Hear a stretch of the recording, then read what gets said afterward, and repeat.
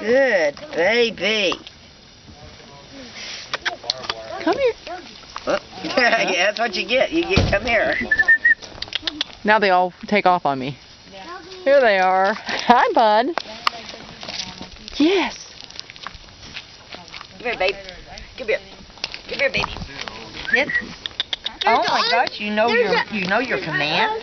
At, at the Am I farmhouse, impressed? at the other farmhouse, Uh-huh. there is it's tripod. Come here. Come here, baby. Come here, boy. Come here. Come on, boy. Okay, come here, Doggy, boy. come. We've got pictures of the way they were. I shouldn't have done that. When they starve to death. Yeah, we've got pictures of those uh, on, Okay. on the camera at the house. Doggies. Here, They look ten times better. It's only been just a short amount of time, You're okay. just a week. Well, it doesn't take them long to go down when they're not being fed.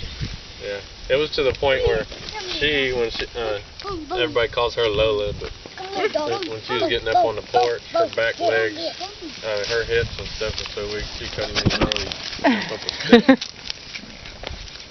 So what do y'all do? Just uh, adopt these dogs out? Well, or- actually, Mary has a cat rescue, and we're just kind of doing this. Okay. Yep. There you go. When I get calls, I try and help as much as I can. I got a couple people